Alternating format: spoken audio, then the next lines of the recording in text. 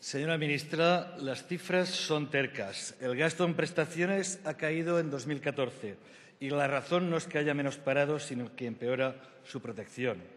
La tasa de cobertura en noviembre de 2014 está en el 57,9, cuatro puntos menos que en 2013, 20 puntos menos que en 2010.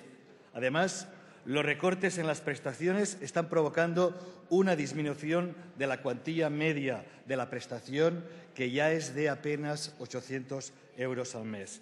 Menos personas protegidas y con una prestación más baja.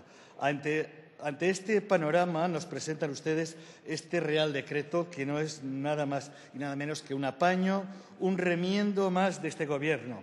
Hay millones de personas sin nada que necesitan ayuda y este programa recoge tantos requisitos que no va a llegar ni mucho menos a los 400.000 parados que sugiere el Gobierno, ni con la ayuda de la Virgen del Rocío. Y encima, como pronto, empezarán a cobrar en abril, porque el plazo máximo para resolver son tres meses. En abril, en pleno periodo electoral, aunque la gente lo necesite ya. Y aún no hay ni formularios en papel. Los funcionarios que tienen que dar la cara saben que el 90% de las solicitudes serán denegadas, dados los requisitos tan limitativos pensados precisamente para sacar un programa y después que llegue a poca gente. Propaganda, propaganda, seña de identidad de este Gobierno.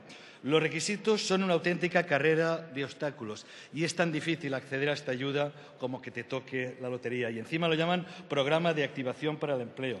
Juegan con las palabras, pero realmente se burlan de la gente necesitada. Hay pobreza social, afecta a millones de personas y ustedes la combaten con parches Sor Virginia.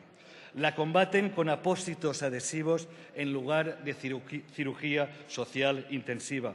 Eso sí, con una imagen renovada, inédita, con una foto con los sindicatos.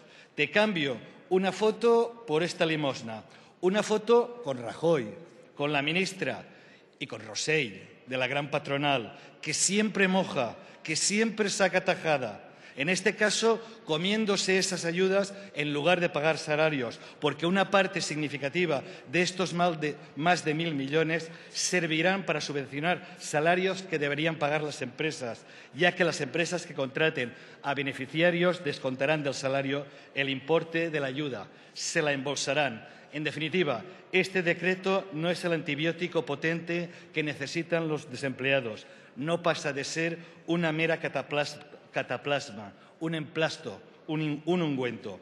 Acabo y quiero mostrar toda mi solidaridad con los 222 trabajadores de la empresa Bosal de Sagunto, que hoy se han puesto esta camiseta porque una multinacional rentable, con beneficios, que recibió ayudas públicas y que con su reforma les permitió hacer ERES y ahora les permite echarles a la calle.